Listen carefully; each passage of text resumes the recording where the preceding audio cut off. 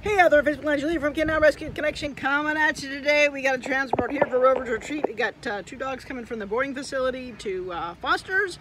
This one, um, it, I don't remember which one was which. Uh, one was named Dolly and the other was named Madison. There you go. Two Goldens. And then another one, just like maybe, it could be brother and sister, I'm not quite sure. Anyway, and here you go. There's the other one. Alrighty, so we're getting on the road.